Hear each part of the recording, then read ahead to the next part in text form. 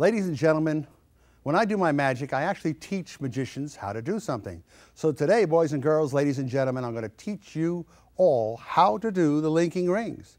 And I have some very prestigious members of the audience up with me, and I'd like you to help me out. Okay. Now, here's what I have. I have here one, two, three, four, five, six, seven, eight separate rings. What I'd like you to do is hold on to one of the rings, make sure there are no trap doors, secret compartments or birds. Turn around so they can see what a fool you're going to make of yourself, right about there. And over here, I'd like you to look for the hole in the ring. Find the hole, come a little closer to me. Find the hole in the ring. You find the hole at all? No. You didn't, you're looking right through it. Oh. There is another one though. There really is another hole. Try to find that one. Is here? That's on the other side. Very good. Yeah. Well, I didn't know whether you were coming or going. you see, I got to watch that.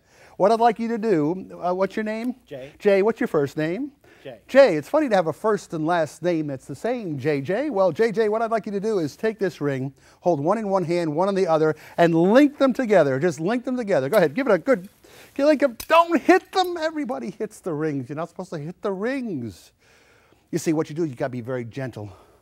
Let me show you how. What I want you to do is just rub it right there. Just rub it right there. That's good. Hey, you did a good job.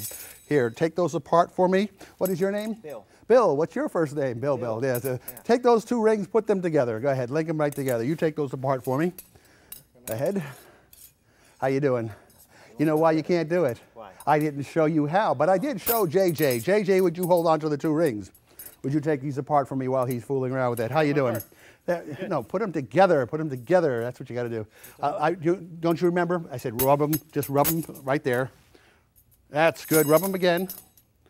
That's good. Hey, look what you got. You got three together now. Take those apart for me. How you doing?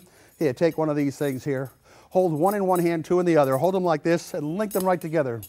Link them. No, no, no. I said you have to rub them. Watch. You rub them just like this, counterclockwise. Uh, that is just like that, clockwise. Try it. How you doing? No good. Watch me. Watch. One, two.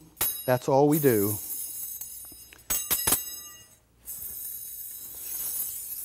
Now they come apart the same way. They come apart the same way. You, you can just rub them clockwise this time. They'll come right apart. Watch. Watch. Just like that. How you doing? Nope. No good. Well, I tell you. Let me have that one. You take these two. You hold on to those two. What I want you to do is, well, I'm actually going to teach you the trick. I did promise that, didn't I? Mm -hmm. I did promise. See those two rings? Mm -hmm. They'll never go together. They were made that way. They're perfectly solid. They cannot go together. Those two rings there cannot come apart. They were welded together in that position. That's the way they came right out of the box. These three rings can't go together, can't come apart. That's the way they came. They're all as solid as this one right here the whole thing is what we call an optical illusion. It's how you hold the rings that makes them look like they're linked. For instance, if I go like this, go like this, go like this, and go like this, you'd swear those rings are linked in three different places. That can't be done. As a matter of fact, you hold them in another way, you'd swear they're linked in four different places. Can't be done. And if you use your imagination, you can even see shapes appearing before your eyes. There we have a swing. And of course, you know what that is.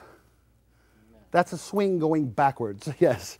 And now we hold it like this, and we hold it like this, and now we have a little butterfly or Mickey Mouse. Hey, Mickey. Yeah, you remember Mickey, don't you? Who said Dolly Parton? That was a rotten kid, I'll tell you.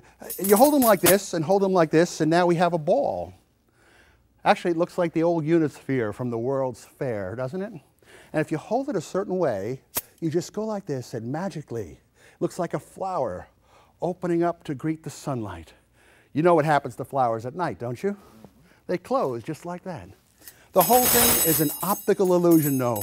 One ring looks like it's going through the other, through the other, and down to the bottom. That can't be done. You hold them a certain way. Everything looks like they're traveling right down and off. But that can't be done. And you know why you can't do it? Why? Because I'm a magician and you're not. That's simple. That's the linking rings.